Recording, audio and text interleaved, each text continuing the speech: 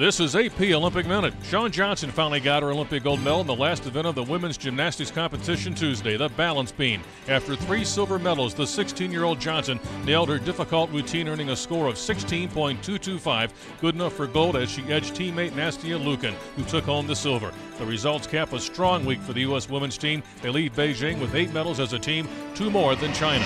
Sylvia Fowles scored 26 points and grabbed 14 rebounds to help the U.S. women's basketball team beat South Korea oh 104 to 60 on Tuesday and advance to the semifinals. The American women, who have now won 31 straight Olympic Games, will face either Russia or Spain in the semis Thursday night. China plays Australia in the other semifinal.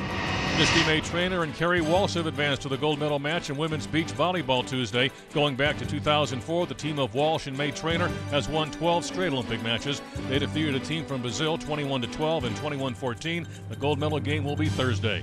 Updating the medal count, the U.S. continues to lead with 79 overall medals. The Chinese are next with 76 medals and lead the gold medal count with 43. Russia is third with 42 medals overall. In Beijing, Jack Briggs with AP Olympic Minute.